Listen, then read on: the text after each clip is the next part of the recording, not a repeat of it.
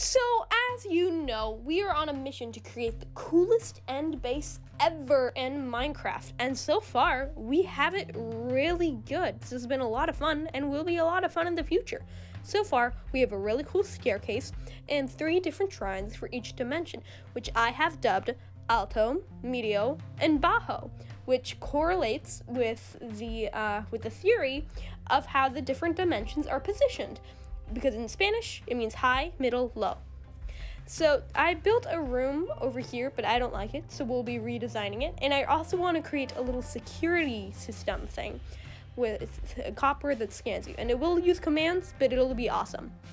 And after literally an hour of trying to figure out how the frick redstone works, this is what I have.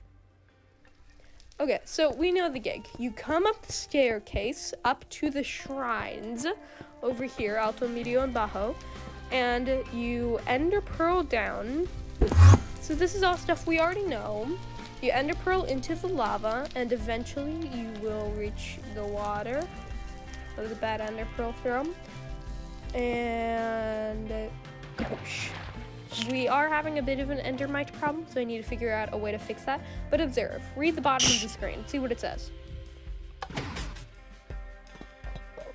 Isn't that so cool? I think that looks awesome, and the way the copper pistons move, it looks awesome.